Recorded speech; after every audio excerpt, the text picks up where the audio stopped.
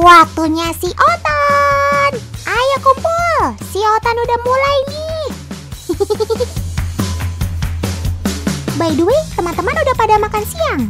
Otan mau nemenin agen Otan makan siang nih. Wah, Kagia, Otan gak salah lihat nih. Pizzanya jumbo. Yakin kah habis semuanya sendirian? Kalau makan besar gini, dalam istilah Korea disebut mukbang teman.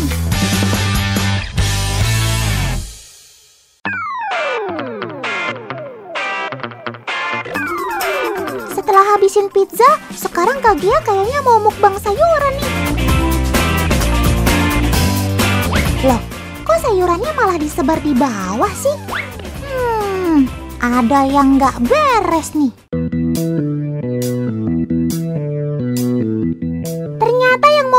Mukbang sayuran bukan Kak Gia, tapi kura-kura darat Sulkata. Sob, nggak mau kalah deh kamu sama manusia. Sobat Otan ini memang tergolong reptil yang doyan makan dan rakus teman. Lihat saja tuh, saat pintu dibuka, kawanan kura-kura darat ini saling berlomba menyantap sayuran. Yap, mereka memang suka sekali makan sayur. Sekali makan, 65 kura-kura sulcata ini bisa menghabiskan 120 kg sayuran loh. Jenis sayuran yang diberikan beragam, salah satunya sawi. Bahkan ada juga rumput dan labu. Makanan sulcata harus punya kandungan air yang cukup, kaya serat, serta rendah protein. Dan meski cuma makan sayur, sulcata bisa mencapai berat tubuh maksimal, yakni 100 kg. Gak heran kalau sulcata menjadi kura-kura darat terbesar ketiga di dunia setelah kura-kura Galapagos dan Aldabra. Cuakep.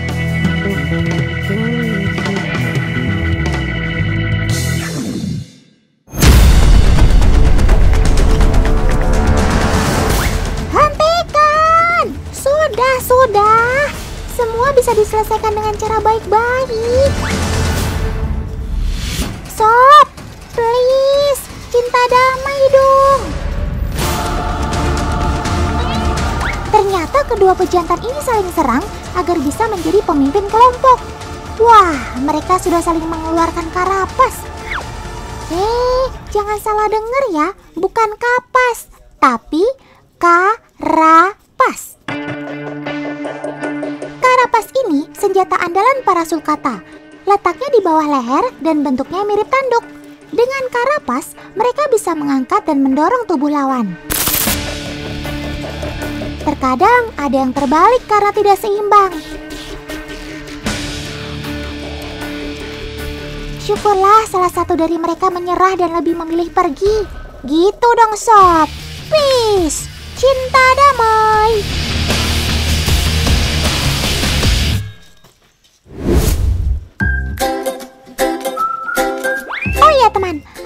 Asal Sobat Totan ini berada di bagian selatan Gurun Sahara, benua Afrika. Sulcata termasuk hewan berusia panjang. Bisa hidup sampai ratusan tahun loh. Saat ini di Indonesia, sulcata sudah mulai dibudidaya dan banyak juga yang menjadikannya hewan peliharaan.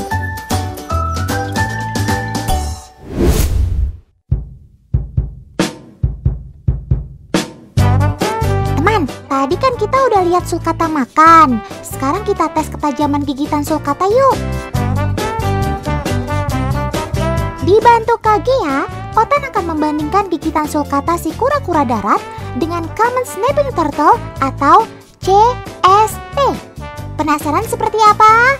Kuy, kita ke K T P eh T K P.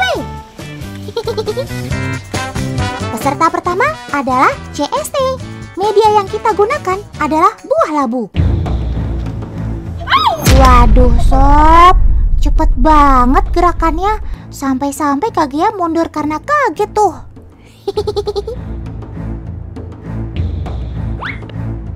Gigitan CST sangat kuat teman. Dia akan mengunci benda yang telah berhasil digigitnya. Kaguya sampai kesulitan melepas labunya deh. CST adalah pemakan daging. Gak heran kan kalau kekuatan mulut dan rahangnya digunakan untuk menghancurkan mangsanya.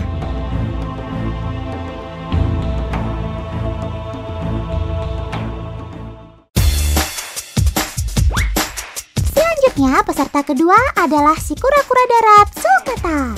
Sudah siap, Sob? Mulai! Lihat, teman. Saat menggigit labu, Sulkata terlihat lebih santuy, alias santai dan tidak agresif. Sulkata mematahkan labu dengan cara digoyang, bukan digigit seperti si kura-kura predator tadi. Sulkata sebagai hewan pemakan sayur memang memiliki karakter yang cenderung pasif tidak agresif gigitannya juga tidak terlalu kuat. Makanya sulcata sangat aman untuk menjadi hewan peliharaan. Habis ini banyak yang pelihara kamu deh sob. Cie cie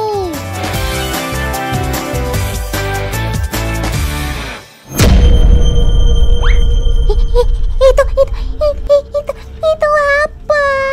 Kok kursinya bisa bergerak sendiri sih? Jangan-jangan.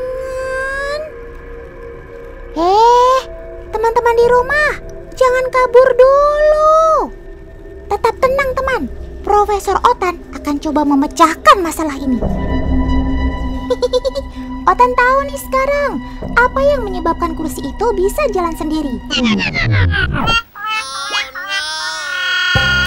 Ini nih penyebabnya, si kura-kura darat yang suka iseng. Di habitatnya, sobat totan ini suka dengan tempat yang tersembunyi, terlebih ketika cuaca sangat terik. Ia akan mencari tempat apa saja untuk berlindung dari sengatan matahari, tak terkecuali kursi ini teman. Tapi ya gitu deh, saat mau keluar, tempurungnya suka tersangkut. Makanya besok lagi pilih-pilih ya Sol kalau cari tempat persembunyian. Bikin kaget aja nih.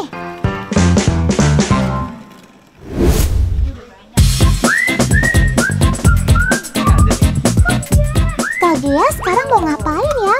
Kok ada di dalam kandang sobat otan sih? Jangan-jangan Kagea mau borong sulkatanya nih. Wah, sultan dong. sulkata teman. Banyak banget lagi. Teman, kura-kura sulkata bertelur pada musim kemarau. Proses bertelurnya butuh waktu sekitar 5 jam dan jumlah telur yang dihasilkan bisa sampai 17 butir. Telur-telur sulcata ini harus langsung masuk ke dalam inkubator khusus.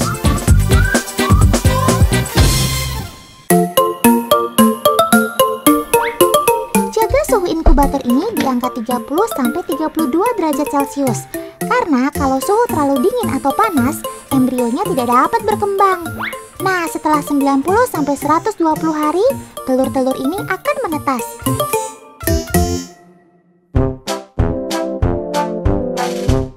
Sob, berenang siang hari bolong enak nih kayaknya. Suger. Eh, emang kamu bisa berenang? Kalau kura-kura air jelas bisa. Kalau kamu kan kura-kura darat. Yuk kita bandingkan keahlian dua jenis kura-kura ini di dalam air.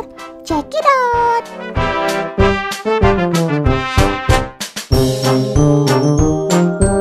Nah, teman-teman sudah bisa lihat perbandingannya belum? Kura-kura darat ketika berada di air, ia akan mengambang. Sementara kura-kura air berenang ke sana kemari. Bahkan sesekali ia mampu menyelam dalam waktu yang cukup lama. Perbedaan cara berenang kedua kura-kura ini dikarenakan anatomi tubuh yang berbeda. Sulcata si kura-kura darat memiliki tempurung yang menonjol ke atas, sehingga ia bisa mengapung ketika di air. Sedangkan kura-kura air cenderung datar, sehingga ia bisa dengan mudah bergerak di air. Selain itu, bentuk kaki dan jari-jarinya juga berbeda, teman. Kura-kura air memiliki selaput di antara jari-jari mereka. Selaput ini berfungsi untuk mengayuh ketika kura-kura air berenang. Sulkata, kamu gak usah minder ya. Yang penting kamu masih bisa ngapung, gak tenggelam.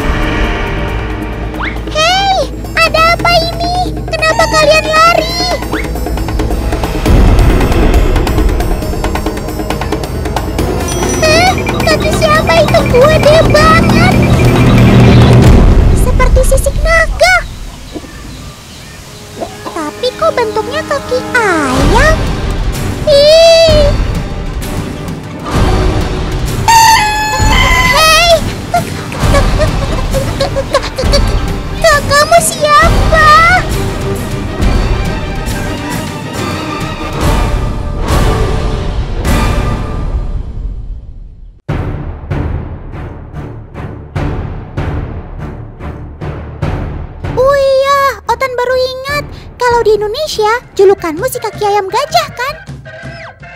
Ini dia si ayam dong tahu teman. Kalau kalian belum pernah melihat sebelumnya, wajar saja sih. Sebab ia berasal dari negeri tetangga, yaitu Vietnam. Ia adalah unggas endemik langka di sana. Karena bentuk kaki yang tidak biasa ini, ia dijuluki si ayam kaki naga. Tenang sob, dia ini baik kok. Kalau kata pepatah sih, tak kenal maka tak sayang. Makanya kita harus kenalan dulu biar jadi sayang.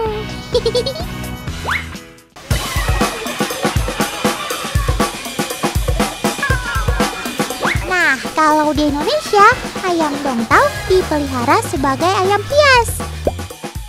Harganya bisa mencapai 7 juta rupiah loh. Kalau harganya fantastis begini, masih tega jadikan dia sop ceker.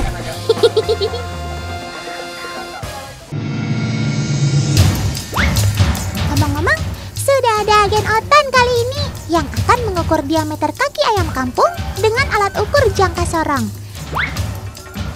Ya, hasilnya adalah 1 cm. Sekarang saatnya ukur diameter kaki ayam dongtao.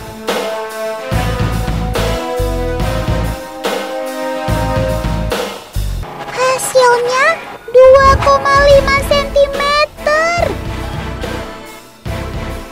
Terlihat jelas ya teman-teman, kaki ayam dongtao ini dua kali lebih besar dari ayam kampung. Teman, sekarang waktunya membahas sobat keren yang satu ini. Hajime Masite, gimana teman? Otan udah jago belum bahasa Jepangnya? Soalnya, Otan mau kenalan sama ayam dari Jepang ini nih.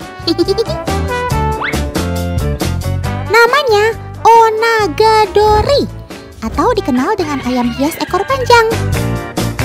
Di negeri Sakura Jepang, Onagadori jadi harta karun paling berharga loh karena statusnya yang hampir punah.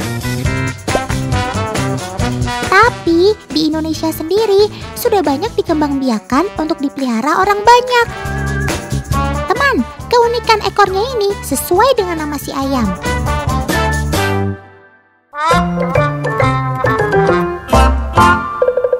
Onagadori berasal dari kata O yang berarti ekor, naga bermakna panjang, dan dori berarti unggas.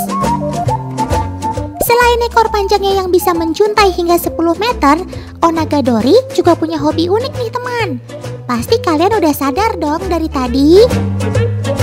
Yaps, Onagadori gemar bertengger seperti burung teman.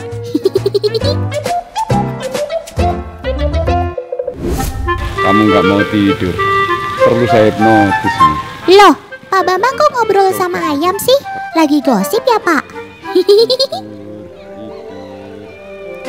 Wah, kok naga dorinya kayak lagi dikelonin gitu? Jangan-jangan... Sobat Totan ini mau dipotong ya? Uh, uh, uh, uh. Jangan, Pak. Ayo mata lihat depan, mata lihat depan. Loh, loh, loh, loh, loh. Malah keluarin spidol segala. Wah, ini si Otan tahu. Pak Bambang pasti mau hipnotis ayam. Jangan-jangan Pak Bambang memang hipnoterapis handal ya. Kalau soal hipnotis ayam mah, semua orang bisa praktekinnya kok. Dengan menarik garis lurus, konsentrasi ayam sepenuhnya akan berpusat pada garis tersebut. Hal ini membuat naluri ayam untuk bertahan hidup muncul dengan cara kaku tidak bergerak atau sampai berpura-pura mati. Efek ini disebut dengan imobilisasi tonik, Saat hewan merasa takut dan terancam, detak jantungnya akan melambat dan membuatnya berhenti bergerak. Jadi, sebenarnya ayam punya sifat kamuflase dengan cara pura-pura mati jika ada hewan predator yang ingin menyerang. Wah, Otan pikir kamu sering nonton acara sulap, Sob.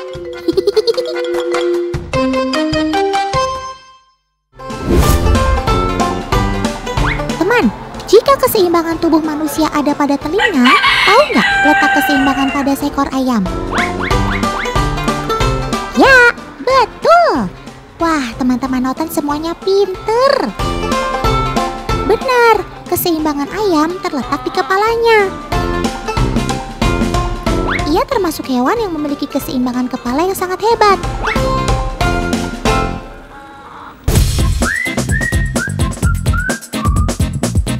Kali ini Otan mau bahas yang sedikit berbeda dari biasanya. Kura-kura apa hayo? Eh, kira-kira apa hayo? Teman di rumah tahu kan, sobat-sobat Otan itu ada yang punya ekor. Nah, coba deh kalian sebutin satu persatu hewan apa aja yang punya ekor. Iya, betul. Ada yang tahu nggak fungsinya ekor pada masing-masing sobat Otan? Oke deh, daripada teman-teman bingung, biar Rotan jelasin lagi ya.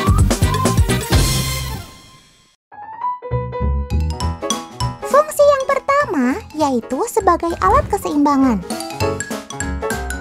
Misalnya, pada ekor kucing berfungsi sebagai keseimbangan ketika berjalan di pijakan yang sempit seperti pagar atau dahan pohon.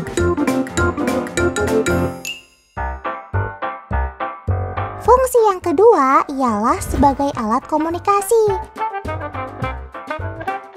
Misalnya saja anjing, ia akan menggoyang-goyangkan ekornya dengan semangat ketika ia merasa gembira. Begitu pula dari pergerakannya, anjing yang merasa senang akan menggoyang-goyangkan ekornya dengan cepat. Namun, jika ia sedang merasa tidak nyaman, ia akan menggerakkan ekornya perlahan dan ragu-ragu.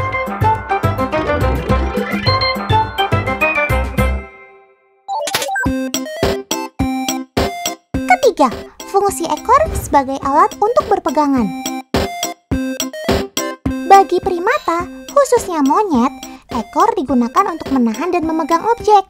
Karena ekornya yang lentur namun kuat, ekor tersebut sering dimanfaatkan untuk bergelantungan di dahan pohon. Selain monyet, hewan terenggiling dan kuskus juga menggunakan ekornya untuk berpegangan loh teman. Bahkan, ekor mereka sanggup menahan beban berat tubuh mereka. Cakep!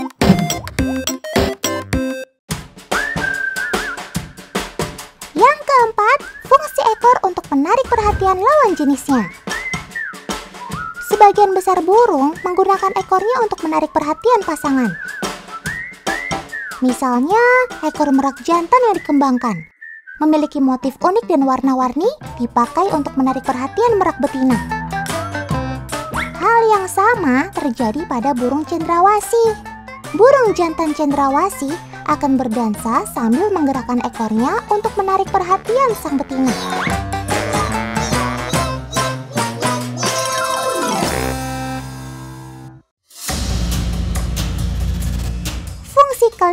Ekor pada hewan yaitu sebagai alat pertahanan diri. Pada kadal dan cicak misalnya, kadal dan cicak dikenal mampu memutuskan ekornya jika dalam kondisi terancam. Hal ini mereka gunakan sebagai cara untuk mempertahankan diri. Kemampuan untuk melepaskan dan menumbuhkan kembali ekor dipakai sebagai mekanisme pertahanan diri untuk lolos dari predator. Kemampuan ini disebut sebagai autotomi, di mana hewan memutuskan atau melepaskan bagian tubuhnya sebagai cara untuk mempertahankan diri. Namun, autotomi bagi kadal membawa konsekuensi bagi hidup mereka. Kadal tanpa ekor tidak bisa berlari kencang dan dianggap kurang menarik di mata lawan jenis. Akibatnya, mereka akan sulit mendapat pasangan dan lebih rentan dimangsa.